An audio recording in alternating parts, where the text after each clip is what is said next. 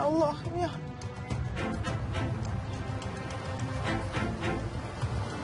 Ehliyetini, ruhsatını ver, sıkıntı yapma.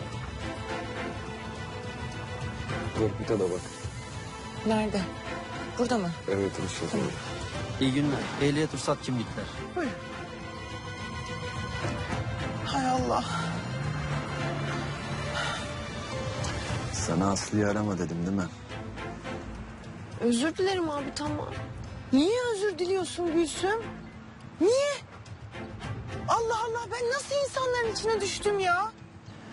Hay Allah'ım şunu bir kazasız belasız atlatsın.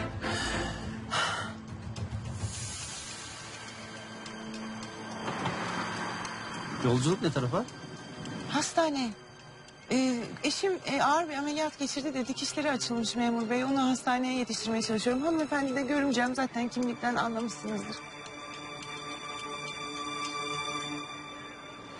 Tamam gidebilirsiniz. Sağ olun size de iyi nöbetler. Aman, e, aman iyi, iyi mesailer. Sizin de işiniz zor. Hırsızı var, hırsızı var, katili var.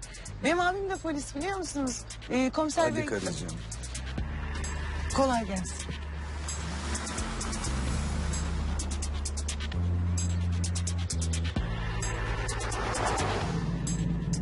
Ben ne yapıyorum ya? Ben ne yapıyorum?